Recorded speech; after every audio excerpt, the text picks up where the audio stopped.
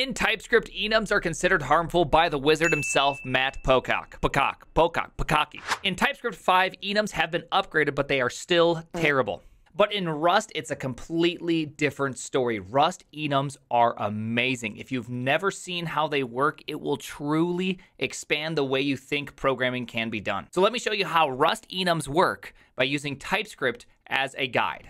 This is an enum in TypeScript. In TypeScript, you can create functions to take in enums, and in this case, when the color's red, we print red. When it's green, green. And when it's blue, blue. An obvious problem is if we add a new value to our enum. This switch statement will give you no indication that you are forgetting a case. And this is one of many issues that are brought up against enums. Now let's look at enums in Rust. First, they can be defined the same way they are in TypeScript. This looks pretty much identical. Working with enums, however, are a bit different. Here is an equivalent in behavior print color function in Rust. Let's look at this statement. It's called a match statement. It's a little bit different than a switch statement. Instead of comparing a value, it does pattern matching. Now, if color was red, we would print out red. And the same thing happens for blue and green. But what happens if we add yellow? This match statement will actually throw an error and you're unable to build your program because you are missing case yellow. There we go. We've added case yellow and our program's compiling again. Right now, you're probably thinking, all right, well, I guess Rust has the same enums as TypeScript. They look the same. They have about the same developer experience, just Rust is slightly better. This does not compel me to want to use Rust. Trust me, it gets much better.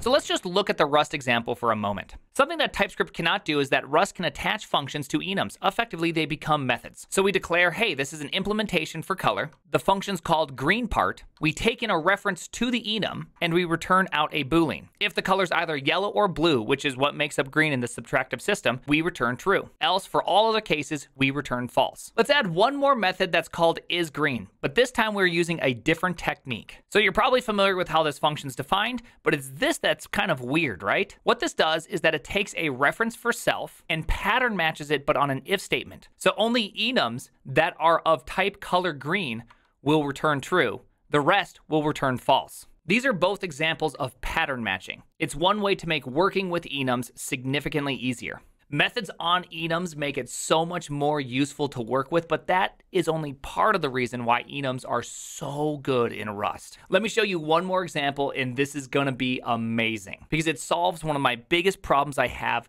with TypeScript. All right, let's go back to TypeScript and see that we've defined a custom type with name and age. Also a union type item that has string, number, or custom. Here would be the equivalent in Rust. First, we create a custom object with name and age. Then we have an enum item. Foo's the same as the string, bar is the same as the number, and baz is the same as the custom object. Let's create an item called foo, and it is a string. We can tell that it's string by doing type of foo, and we can log it out. Let's only look at Rust for a second. Look at how we create foo. First, we create it as an enum foo, and then we pass in a string. We can pattern match out that string again by using foo and pattern matching item foo with a subtype s. Now this s is the value of the subtype that was passed in. And in our case, that is a string. And now we can print out hello easily. We could do the same operation with bar and even the same operation with baz in the custom struct. Here's an example using baz. Here we're pattern matching baz and we get access to custom. And here we can print it out. Let's create equivalent methods in both TypeScript and Rust. Both in TypeScript and Rust, we take in a list of items and we add to that list an item with the number subtype. In the case of TypeScript, it's just 69, but in the case of Rust, it's item bar 69. 69. Remember, these two are equivalent in values. Let's create a list of strings in both languages.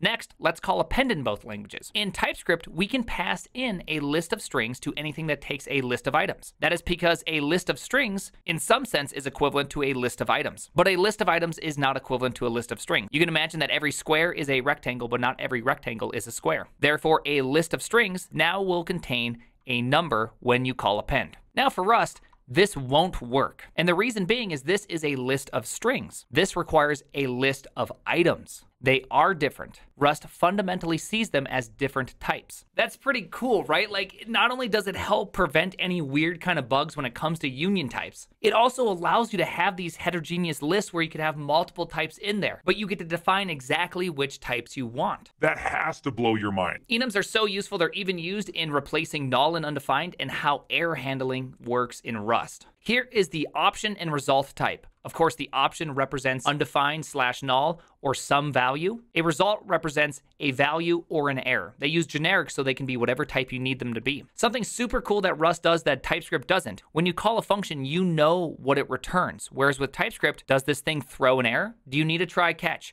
You better handle undefined. Of course, TypeScript has made this a lot better, but nonetheless, you can still run into these situations. Whereas with Rust, it comes back as an option if it's undefined. It comes back as a result if there could be an error. And you can even have things like result with a value of option. And this is one thing I really appreciate about Rust, which is when you're working with Rust, every function you're calling, you know the exact return type and how it behaves. So if this function were to error, the function above would know that this function could err and would have to handle it or pass it to the next function. Whereas in TypeScript, does this function even know that you could throw an error? Who handles the error? Does anybody handle the error? Hopefully you see why enums are amazing in Rust, and hopefully you appreciated this little presentation that we went on. If you like this, hey, please press the like button already. Subscribe to the channel. The name is the Primeagen.